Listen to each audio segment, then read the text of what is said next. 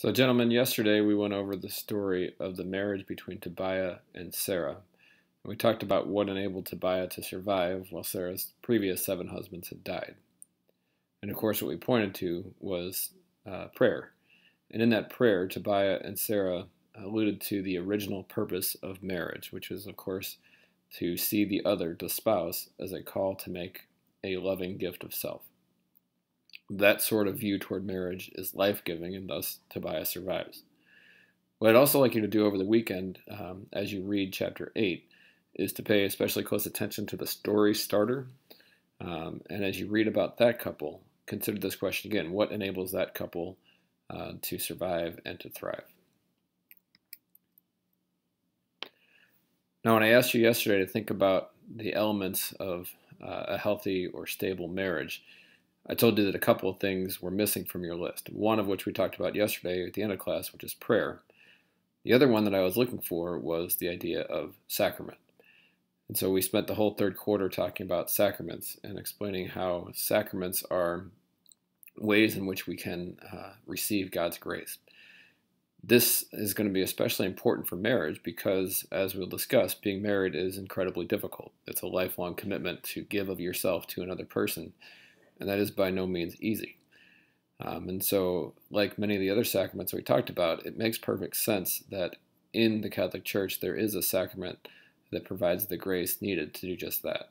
And that sacrament is called matrimony. Now we look at the nuts and bolts of marriage as a sacrament.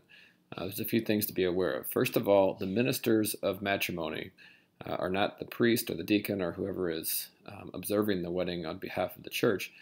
The ministers of the, of the sacrament of matrimony are actually the bride and the groom. So they are simultaneously performing and receiving the sacrament. And the centerpiece of the marriage ceremony is the exchange of vows. That's really when a marriage becomes a marriage. So it's important to know what those vows are. Um, just to give you an idea of what this will look like in practice, uh, a wedding can take place either as part of a Mass uh, with Eucharist following, or it can take place on its own. In that case, it would look much the same as a Mass with Liturgy of the Word, and then the exchange of vows would take place after that. Um, but in any case, uh, whether it's part of a Mass or, or, not part of a Mass, the priest or deacon who observes this exchange of vows um, will ask the couple have you come here freely and without reservations to give yourselves to each other in marriage? Uh, of course, if you want to get married, you say yes. If you say no, I am forced to be here, uh, then you cannot have a valid marriage. The priest or deacon will also ask you then, will you love and honor each other as husband and wife for the rest of your lives? Again, if you say no, that this is a part time deal or a uh, you know, we're, we're going to love each other for 10 years or, or whatever, then you would not get married. So this is a vow of permanent faithfulness as long as the both of you live. And then a third question that he would ask, uh, and this is a necessary part of the Catholic wedding ceremony, he'll ask, Will you accept children lovingly from God and bring them up according to the law of Christ and his church? Um, again, if you say, no, I don't like kids, uh, or no, we're not really open to children, then you will not get married in the Catholic Church because part of the sacramentality of marriage is that life giving nature of marital love. If you say yes to all three of these, then you will actively profess your vows. Uh, sometimes the priest or deacon will um, say it quietly and then you will repeat it. Other times he might uh, make you memorize it. There's a few different ways uh, of formatting the words here, but they all say the same thing. Um, so the uh, groom, for example, would say, I take you to be my wife. I will be true to you in good times and in bad, in sickness and in health. I will love you and honor you all the days of my life. And so, once again, you see this total commitment. There is no um, reservation, it's holding nothing back. And it's unconditional. It doesn't matter if it's um, good times, bad, um, you know, poverty, wealth, sickness, health, regardless of what situations we encounter, I will be faithful to the promise I'm making right now.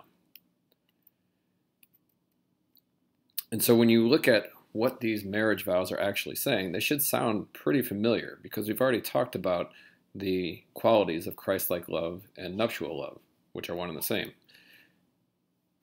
essentially, what you're saying is, I love you and will always love you freely, totally, faithfully, and fruitfully.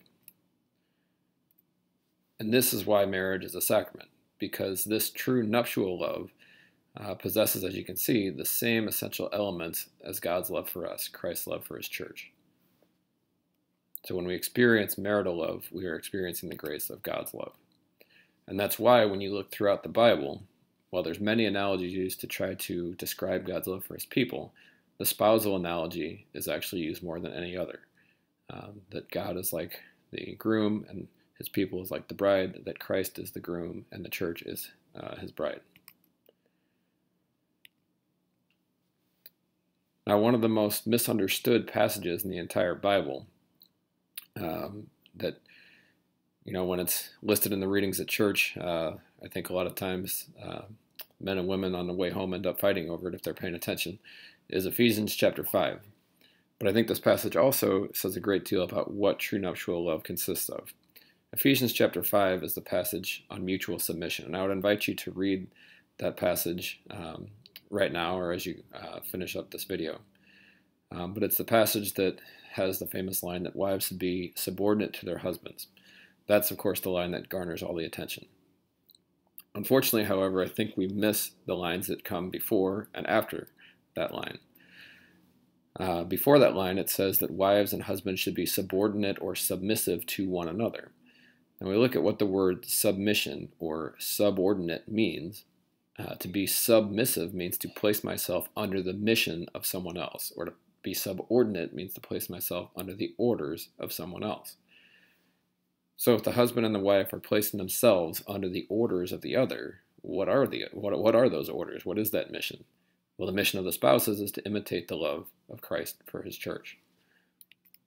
And so what does Christ do for his church? Of course, he gives all of himself for his church. He dies for her church, for his church. And so, after the uh, famed passage about wives should be submissive to their husbands, it also says husbands should love their wives the same way that Christ loves the church.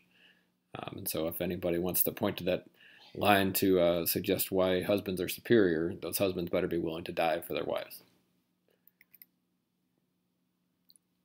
And finally, the last topic that we're going to cover in this video is the role of sex within marriage.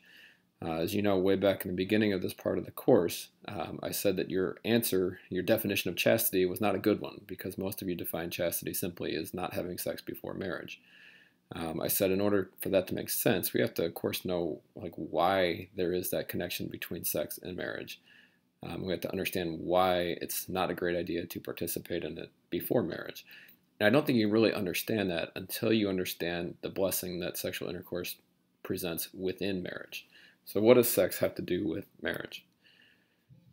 Well, if you go back to what we had covered the other day, what does sexual intercourse say? What message is conveyed? Of course, where we ended up was this idea that it says to the other person, I'm giving myself to you and receiving you freely, totally, faithfully, and fruitfully. And again, that should sound very familiar because we just discussed the wedding vows. And that's exactly what the wedding vows say. So when it comes down to it, sexual intercourse is actually a physical renewal of the wedding vows. You are saying with your body is the same thing that you said verbally on the altar. Now, one question that I want you to think about over the weekend and that we'll debate and discuss next week is the issue of contraception. Um, so, given what you know about Catholic marriage and sacramental marriage, do you think that contraception would be a good fit for Catholic married couples.